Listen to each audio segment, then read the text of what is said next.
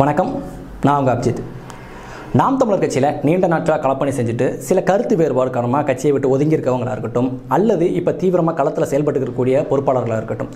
இவங்க எல்லாத்தையும் எப்படியாவது நம்ம கட்சி பக்கம் ஈர்க்கணும் அப்படின்னு சொல்லிட்டு இங்கே இருக்கக்கூடிய பலதரப்பட்ட கட்சிகள் அது திராவிட கட்சியாக இருக்கட்டும் தேசிய கட்சியாக இருக்கட்டும் அல்லது புதிதாக ஆரம்பிக்கப்பட்டக்கூடிய லெட்டர்பேட் கட்சியாக இருக்கட்டும் இவங்க எல்லோருமே வந்து தீவிரமாக வேலை செஞ்சுக்கிட்டு இருக்காங்க முயற்சி பண்ணிகிட்டு இருக்காங்க அப்படின்ற மாதிரியான தகவல் நம்மளுக்கு தினந்தோறும் கிடச்சிக்கிட்டு இருக்கு.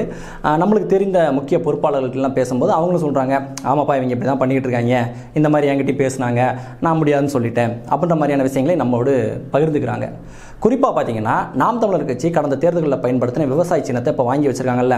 கர்நாடகை சேர்ந்த வீராரெட்டி அவருடைய கட்சி. அந்த கட்சி பேர் கூட வந்து பார்த்திங்கன்னா பாரதிய மக்கள் ஐக்கிய கட்சின்னு நினைக்கிறேன். ஏதோ ஒன்று அந்த கட்சியோட பார்த்திங்கன்னா நாம் தமிழர் கட்சியை நேருக்கு நேராக கூட்டணிக்கெலாம் கூப்பிட்டாங்க. அந்த மாதிரி நகைச்சுவையெல்லாம் நடந்துச்சு. இப்போ என்னென்னா அவங்க தமிழ்நாட்டில் நாற்பது தொகுதியிலும் வந்து கேண்டிடேட்டை போட போகிறாங்க அதுக்கான வேலைகளை பார்த்துட்டு இருக்காங்க. குறிப்பாக அவங்க யாரை டார்கெட் பண்ணுறாங்க அப்படின்னா நாம் தமிழர் கட்சியிலேருந்து விலகி இருக்கக்கூடிய முன்னாள் பொறுப்பாளர்கள். அவங்களெல்லாம் ஒவ்வொருத்தரையும் அணியும் வந்து பேசிகிட்டு இருக்காங்க நீங்கள் வந்து எங்கள் கட்சிக்கு வாங்க. நீங்கள் வந்து இந்த விவசாய சின்னத்தில் போட்டிடுங்க உங்களுக்கு நாங்கள் ஃபுல் சப்போர்ட் நாங்கள் பண்ணுறோம் அப்படின்ற மாதிரி பேச்சுவார்த்தைகள் நடந்துகிட்டு இருக்காங்க அது சம்மந்தமான தகவலும் நம்மளுக்கு தினமும் வந்து கிடச்சிட்டு தான் இருக்குது ஏதோ ஒரு விதத்தில் நாம் தமிழ் கட்சியின் முன்னாள் இந்நாள் பொறுப்பாளர்களை நம்ம பக்கம் ஈர்க்கணும்னு சொல்லி முயற்சி பண்ணக்கூடிய இந்த மாற்றுக் கட்சியினர் ஒரு விஷயத்தை வந்து கவனிக்க மறந்துடுறாங்க. அதை பற்றி தான் நம்ம இந்த பதிவில் நம்ம பார்க்க போகிறோம்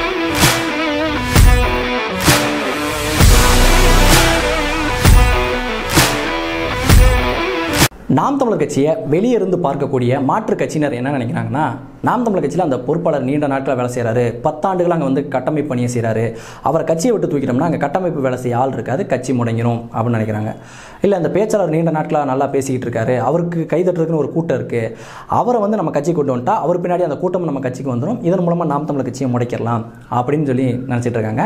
அவங்க அப்படி நினைக்கிறதுல நம்ம தவறு சொல்ல முடியாது. ஏன்னா தமிழக அரசியல் கடந்து வந்த பாதை என்பது அப்படி தான் இருக்குது ஏன்னா இது வரைக்குமே தமிழக அரசியல் அப்படின்றது ஒரு தனி மனிதனை பின்பற்றக்கூடிய ஒரு குரூப்பிஸ் அரசியலாகத்தான் இருக்குது இன்னும் பச்சையாக சொல்லணும்னா ஒரு பண்ணையார் அரசியல் அப்படின்னே சொல்லலாம். ஏன்னா இந்த தொண்டர்கள்லாம் போய் ஒரு தனி மனிதனை வந்து தலைவர் தலைவர்னு சொல்லிக்கிட்டே இருப்பாங்க. அந்த தனி மனிதன் மூலமாக ஏதோ ஒரு விதத்தில் இவங்க எல்லாமே பலனடைவாங்க. அதன் மூலமாக வாழ்க ஒழுகிய கோஷம் போட்டுக்கிட்டு அந்த தனி மனிதனை பின்பற்றிக்கிட்டே இருப்பாங்க. இப்படி தான் வந்து அரசியல் என்பது நடந்துகிட்டு இருக்கு. ஒரு தனி மனிதன் பின்னாடி ஆட்டு மந்தைகள் போல ஓடிக்கிட்டு தான் இருந்திருக்காங்க. அதனால தான் பெரியாருக்கும் அண்ணாவுக்கும் சண்டை வந்தோடனே அண்ணா வெளியே வராரு. அவர் பின்னாடி ஒரு மிகப்பெரிய கூட்டம் வருது. திமுக அப்படின்ற ஒரு கட்சி உருவாகுது. திமுகவில் கருணாநிதிக்கும் எம்ஜிஆருக்கும் சண்டை வருது. எம்ஜிஆர் வெளியே போறாரு. அவர் பின்னாடி ஒரு மிகப்பெரிய கூட்டம் போது அதிமுக அப்படின்ற ஒரு கட்சி உருவாகுது.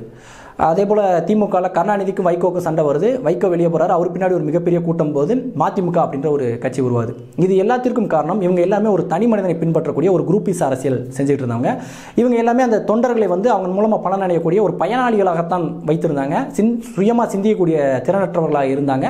அதனால அவங்க எல்லாமே தனி மனிதன் என்ன சொல்கிறாங்களோ அதை கேட்டுக்கிட்டு அவங்க பின்னாடி வாலாட்டிக்கிட்டு போகக்கூடிய ஒரு கூட்டமாகத்தான் இருந்தாங்க. இவங்க அதே மனநிலையில் இவங்க எப்படி அரசியல் வளர்ந்து வந்தாங்களோ அதே மனநிலையில் நாம் தமிழர் கட்சியும் பார்க்குறாங்க. ஆனால் நாம் தமிழர் கட்சி அப்படின்றது உண்மையிலே உணர்வுபூர்வமாக இணைக்கப்பட்டிருக்கக்கூடிய ஒரு கட்சி தான் இதில் ஒருத்தர் இன்னொருத்தரோடு கண்ணுக்கு தெரியாத ஒரு பாண்டிங் மெட்டீரியல் மூலமாக இணைக்கப்பட்டிருக்காங்க. அது எதுவாக வேணுமாலும் இருக்கலாம். ஈழத்தில் நடந்த அந்த இனப்படுகொலையாக இருக்கலாம் தலைவர் மேதகவே பிரபாகரனாக இருக்கலாம் அண்ணன் சீமான் அவர்கள் முன்வைக்கக்கூடிய அரசியலாக இருக்கலாம் இல்லை அவர்களுக்குள்ள இருக்கக்கூடிய அந்த நேர்மையாக இருக்கலாம் நாம் தமிழர் கட்சியினுடைய கொள்கைகளாக இருக்கலாம் இந்த மண்ணின் மீது இருக்கக்கூடிய பற்றாக இருக்கலாம் அல்லது எதிர்காலத்தை பற்றின சிந்தனையாக இருக்கலாம். இது மாதிரியான பல காரணங்கள் சேர்ந்து தான் நாம் தமிழர் கட்சியை இப்படி ஒரு இறுக்கமான கட்டமைப்பு கொண்ட ஒரு கட்சியாக உருவெடுத்திருக்கு. இதில் இருக்கக்கூடிய எல்லோருமே வந்து நாளைக்கு நம்ம வந்து முதலமைச்சர் ஆயிடலாம் நாளைக்கு வந்து நம்ம அஹ், தலைவர் ஆயிடலாம் நம்ம அதன் மூலமாக பணம் சம்பாதிக்கலாம் அப்படின்ற எண்ணத்தோடு இந்த கட்சியில் வந்து இணைஞ்சவங்க கிடையாது. எல்லோருமே அவங்களால ஏதாச்சும் ஒன்று முடியுமா? அந்த கட்சிக்கு நம்ம ஏதாவது ஒரு பங்களிப்பை செய்திட முடியுமா? அப்படின்ற எண்ணத்தோடு வந்தவங்க தான் காலையிலேருந்து சாயங்காலம் வரைக்கும் மூட்டை தூக்கி கஷ்டப்பட்டு வேலை பார்ப்பாங்க. அறநூறுவா சம்பாதிப்பாங்க. ஒரு ஐம்பது ரூபாய் கொண்டு வந்து என்னால் முடிஞ்ச பங்களிப்புன்னு சொல்லி கட்சிக்கு வந்து அவங்க நிதியாக கொடுப்பாங்க. காலையிலேருந்து நைட்டு வரைக்கும் வேலை செய்வாங்க. வேலை செஞ்சு உழைச்சி களைச்சி போய் தான் வீட்டுக்கு வருவாங்க. அடடே நாளைக்கு கூட்டம் இருக்குடா போய் போஸ்டர் ஒட்டணும். நாளைக்கு கூட்டம் இருக்குது நம்ம போய் கொடி நடணும் அப்படின்னு சொல்லி இரவில் வந்து கட்சி வேலையை வந்து செய்யக்கூடிய உறவில் பலர் பேரை நான் வந்து பார்த்துருக்கேன். ஏதோ ஒரு விதத்தில் நம்ம நிதி பங்களிப்போ உடல் உழைப்பையோ அந்த கட்சிக்கு நம்மளால் முடிஞ்சதை கொடுக்கணும் அப்படின்னு வந்து நினைக்கக்கூடிய உறவுகள் நிறைஞ்ச ஒரு கட்சி தான். இது எல்லாமே சேர்ந்து தான் நாம் தமிழர் கட்சி. அண்ணன் சீமான் அவர்களுடைய பேச்சு இந்த களப்பணியாளர்களுடைய உழைப்பு நாம் தமிழர் கட்சியினுடைய கொள்கை தலைவருடைய மேதகவே பிரபாகரன் ஈழ அரசியல் இது எல்லாமே சேர்ந்து தான் நாம் தமிழர் கட்சி. இதில் ஏதாவது ஒன்றை நீங்கள் வெளியே எடுத்துட்டாலும் அது வந்து முழுமை பெறாமல் போயிடும் விவேக் கூட ஒரு படத்தில் சொல்லுவார்ல உள்ளே வந்து எழுநூத்தம்பது ஸ்பேர் பார்ட்ஸ் இருக்குது அதில் ஓடாத வண்டியாட அந்த எலுமிச்சம்பளத்தில் ஓடுது அப்படின்னு இல்லையா? இது எல்லாமே சேர்ந்து ஒரு பேக்கேஜாக இருக்கனால தான் இது எல்லாமே சேர்ந்து ஒரு நம்பிக்கைக்குரிய ஒரு விஷயமாக நாம் தமிழர் கட்சி உருவாக்கி இருக்கனால தான் மக்கள் இதன் மீது நம்பி தொடர்ந்து வந்து வாக்களிச்சுக்கிட்டே வராங்க. பல முறை தோ தேர்தலில் தோத்தாலும் கூட இது என்றாவது ஒரு நாள் இந்த கட்சி வெல்லும். ஏன்னா அந்த அளவுக்கான ஒரு உள்ளாற்றல் இந்த கட்சியில் இருக்குது அப்படின்னு சொல்லி நம்பிக்கையாக மக்கள் வந்து தொடர்ந்து வந்து வாக்கு செலுத்திட்டே இருக்காங்க. இளைஞர்கள் தொடர்ந்து வந்து இதில் சேர்ந்துக்கிட்டே இருக்காங்க அதுக்கான காரணம் என்னென்னா இது எல்லாம் சேர்ந்த ஒரு காரணிகள் தான் ஆனால் இவங்க என்னென்னா இந்த எந்த காரணியும் பார்க்கறது அதில் இருக்கக்கூடிய தனி மனிதர்களை வந்து பார்த்துக்கிட்டு இருக்காங்க. அதில் இருக்கக்கூடிய தனி மனிதர்களை நீங்கள் வெளியே எடுத்துட்டீங்கன்னா அந்த விவேகாமியில் வர மாதிரி தான் அந்த எலுமிச்சம்பழத்தை பிடிங்கிட்டு போய் உங்கள் வண்டியில் கட்டினா வண்டி ஓடும் நினைக்கிற மாதிரி ஒரு முட்டாள்தனமான ஒரு விஷயம் தான் நாம் தமிழர் கட்சிக்கிட்ட இந்த எல்லாம் சேர்ந்த அந்த கட்சிக்கிட்ட இருக்கக்கூடிய அந்த விவசாய சின்னத்துக்கு தான் மக்கள் மத்தியில் மதிப்பு. வெறுமனே அந்த விவசாய சின்னத்துக்கு மட்டும் மதிப்பு கிடையாது. நாம் தமிழர் கட்சிக்கிட்ட இருந்த விவசாய சின்னம் எங்ககிட்ட வந்துருச்சு. எனவே மக்கள் எங்களுக்கு ஓட்டு போட்டுருவாங்க இந்த தேர்தலில் அப்படின்னு நினைக்கிறது மிகப்பெரிய ஒரு முட்டாள்தனம். நாம் தமிழர் கட்சியில் இப்போ இருக்கக்கூடிய பொறுப்பாளர் வந்து என் கட்சிக்கு வந்துட்டாங்க. போன தடவை ஒரு வாங்கின ஓட்டை விட இப்போ எங்கள் நிறைய ஓட்டு எனக்கு வந்து வாங்கி கொடுத்துருவாரு அப்படின்னு நினைக்கிறது முட்டாள்தனம். அந்த சின்னம் அந்த பொறுப்பாளர் அந்த உழைப்பு அந்த கொள்கை இது எல்லாமே ஒன்று சேரும்போது அது நாம் தமிழர் கட்சி அப்படின்னு சொல்லி முழுமையடையதே தவிர இதுக்குள்ளேருந்து நீங்கள் எதை ஒன்று வெளியே எடுத்தாலும் அது வெறுமனே வந்து ஒரு காஞ்சி காஞ்சு போன எலுமிச்சம்பளம் மாதிரி தான். அந்த மாதிரி தான். ஏன்னா தலை கை கால் எல்லாம் சேர்ந்து தான் உடல். நீங்கள் கையை மட்டும் வெட்டி எடுத்துட்டீங்கன்னா அதை யாரும் உடல்னு சொல்ல மாட்டாங்க. அது வெறும் கை தான். நீங்கள் தலையை வெட்டிட்டு எடுத்துட்டீங்கன்னா அது வெறும் முண்டம் தான். அதை வந்து உடல்னு யாருமே சொல்ல மாட்டாங்க. அந்த மாதிரி இது எல்லாம் சேர்ந்த முழுமை பெற்ற ஒரு விஷயமாகத்தான் இருக்கும். உதாரணமாக பார்த்தீங்கன்னா கடந்த ரெண்டாயிரத்தி இருபத்தொன்று தேர்தலுக்கு முன்பாக நாம் தமிழர் கட்சியில் அண்ணன் சீமான் அவர்களுக்கு அடுத்து ரெண்டு பேர் வந்து முக்கியமான தலைமையாக இவங்கெல்லாம் வந்து பார்த்தீங்கன்னா அண்ணன் சீமான் அவர்களுக்கு அடுத்த மாதிரியான தலைமைகள் அப்படின்னு சொல்லி அறியப்பட்ட ரெண்டு பேர் வந்து நாம் தமிழர் கட்சியில் முரண் ஏற்பட்டு வெளியே போகிறாங்க ஒருத்தர் திமுகவில் போய் சேர்ந்துட்டார் ஒருத்தர் அதிமுகவில் போய் சேர்ந்துட்டார். அப்போ நாம் தமிழர் கட்சியின் மீது கடுமையான விமர்சனங்கள் வைக்கப்பட்டுச்சு. இங்கே பாருங்கள் இவ்வளோ வந்து இவ்வளோ தூரம் உழைச்சவங்களே வெளியே அனுப்பிட்டாங்க. இந்த கட்சி எப்படி வளரும்? வரக்கூடிய தேர்தலில் பார்த்தீங்கன்னா நாம் தமிழர் கட்சி வந்து பெறக்கூடிய வாக்களை விட ரொம்ப குறைவாக தான் பெறுவாங்க. இந்த கட்சி அவ்வளோதான் முடிஞ்சு போச்சு அப்படின்னு சொல்லி ரொம்ப எதிர்மறையான விச விமர்சனங்கள் நாம் தமிழர் கட்சியின் மீது வைக்கப்பட்டுச்சு அந்த மாதிரியான சூழ்நிலை தான் ரொம்ப உற்சாகமாக ரெண்டாயிரத்தி இருபத்தொன்று தேர்தலை நாம் தமிழர் கட்சியினர் சந்தித்தாங்க பல தடங்கல்கள் பல எதிர்மறையான விமர்சனங்களை தாண்டி முன்பு வாங்கின ரெண்டாயிரத்தி பத்தொம்போதில் வாங்கின ஓட்டுகளை விட ஒரு மடங்கு அதிகமாக ஏழரை சதவீதம் வாக்குகளை ரெண்டாயிரத்தி இருபத்தொன்று தேர்தலில் நாம் தமிழர் கட்சியினர் வாங்கினாங்க. அதற்கு காரணம் நாம் தமிழர் கட்சியினருடைய அந்த உள்வலிமை தான். நாம் தமிழர் கட்சியில் இருக்கக்கூடிய எல்லோருமே வந்து துணிச்சலாக வந்து தேர்தலை சந்திப்பாங்க. துணிச்சலாக வந்து களத்தில் இறங்கி வேலை செய்வாங்க. வழக்குகளை பற்றி கவலைப்படாமல் போய் போராட்டங்களில் கலந்துக்குவாங்க. அதுக்கு காரணம் நாம் தமிழர் கட்சியினருக்கு இயற்கையாக இருக்கக்கூடிய அந்த உள்வலிமை இந்த உள்வலிமை எங்கேருந்து வருதுன்னா நாம் தமிழர் கட்சியில் முன்பு சொன்ன மாதிரி இந்த பல காரணிகள்.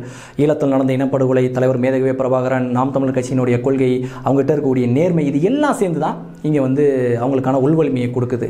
இதிலிருந்து நீங்கள் வெளியே போயிட்டீங்கன்னா இந்த உள்வலிமையோடு நீங்கள் வெளியே போய் உங்களால் மற்ற கட்சியில் செயல்பட முடியுமான்னு கேட்டிங்கன்னா கண்டிப்பாக அதுக்கு வாய்ப்பே கிடையாது. அதுக்கு ஒரு நல்ல எடுத்துக்காட்டு ராஜீவ்காந்தி தான். ராஜீவ்காந்தி ஒரு மிக சிறந்த ஆளுமையாகத்தான் நாம் தமிழர் கட்சியில் இருந்தார்.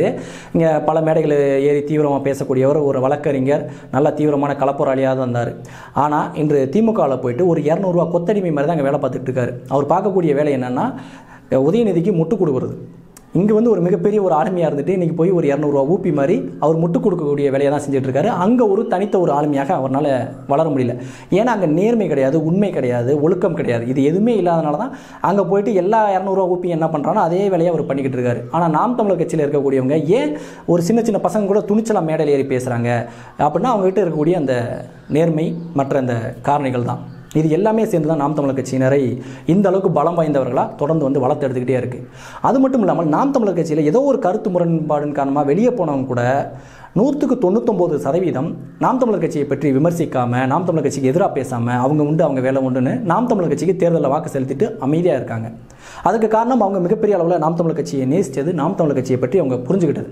அதனால தான் இன்று வரைக்கும் கூட பெரும்பாலும் வெளியே போனவங்களை பற்றி அதிகமாக நான் விமர்சிக்காத காரணம் என்னென்னா ஏதோ ஒரு காரணத்துக்காக அவங்க வெளியே போயிருக்காங்க. அவங்க வெளியே போய் என்ன பண்ணுறாங்க அவங்களுடைய செயல்பாடுகள் எப்படி இருக்குன்னு பார்த்துட்டு தான் நம்ம விமர்சிக்கணுமே தவிர வெளியே போயிட்டாங்க அப்படின்றதுக்காகவே விமர்சிக்கக்கூடாது அப்படின்றனால தான் பெரும்பாலானவங்களை பற்றி நான் விமர்சிக்கிறதே இல்லை. ஆனால் வெளியே போயிட்டு ஏதாச்சும் இந்த ராஜீவ்காந்தி மாதிரி ஊழல் வீடியோவில் பார்க்கும்போது தான் நம்மளுக்கு வந்து கடுப்பாகிறது. ஆனால் பெரும்பாலானவங்க வந்து வெளியே போயிட்டு எந்த விதத்திலும் நாம் தமிழர் கட்சியை வந்து பாதிப்பு ஏற்படுத்தக்கூடாது அப்படின்னு சொல்லி அமைதியாக இருக்காங்க. அதற்கு காரணமும் அவங்ககிட்ட இருக்கக்கூடிய அந்த நேர்மை தான் இப்படியான பல விஷயங்கள் சேர்ந்து தான் நாம் தமிழர் கட்சி. ஆனால் இவங்க என்னென்ன நினைக்கிறாங்க? அந்த சீப்பை எடுத்து ஒழிச்சு வச்சுட்டா கல்யாணம் நின்று போயிரும் நினச்சி முட்டாள்தனமாக பல வேலைகளை பேசிக்கிட்டு இருக்காங்க. நாம் தமிழர் கட்சி பொறுப்பாளர்கிட்ட போய் பேரம் பேசுறது சின்னத்தை வந்து முடக்கி வச்சுக்கிறது இந்த மாதிரியான கேலி கூத்துக்களை அவங்க செஞ்சுக்கிட்டு இருக்காங்க. இது ஒருபோதும் இந்த மாற்றுக் கட்சியினருக்கு பலன் தராது அப்படின்றதான் உண்மை. அல்லது அவங்களுக்கு நாம் தமிழர் கட்சி இன்னும் சரியாக தெரிஞ்சுக்கல இல்லை புரிஞ்சுக்கல அப்படின்றதான் அர்த்தம். அதனால தான் இந்த மாதிரி முட்டாள்தனமாக அவங்க வந்து செயல்பட்டுக்கிட்டு இருக்காங்க. நாம் தமிழர் கட்சியை புரிஞ்சுக்கணும்னா அப்படின்னாலுமே அவங்களுக்கு இதுக்குன்னு ஒரு தனிப்பட்ட அறிவு தேவை. ஒரு ஆயிரம் பிரசாந்த் கிஷோர் வந்து வரணும். அப்போ தான் வந்து நாம் தமிழர் கட்சியை பற்றி அவங்களால புரிஞ்சுக்க முடியும். என்னதான் முயற்சி பண்ணாலும் தலையினா நின்று தண்ணி குடித்தாலும் இந்த மாதிரி அற்பமான காரியங்கள்னால நாம் தமிழர் கட்சியை ஒருபோதும் வீழ்த்திட முடியாது. நீங்கள் நாம் தமிழர் கட்சியை வீழ்த்தணும்னு நினச்சிங்கன்னா இன்னொரு நாம் தமிழர் கட்சியால் மட்டும்தான் அது முடியும். அதுக்கு வரலாற்றில் இனிமேல் வாய்ப்பே கிடையாது. மேலும் இந்த வீடியோ சம்பந்தமான உங்களுடைய கருத்துக்களை கமெண்ட்டில் தெரிவிங்க. என்னால் முடிஞ்ச பதில்களை நான் சொல்கிறேன் வீழ்வது நாமாயினும் ஆள்வது தமிழாகட்டும். நன்றி.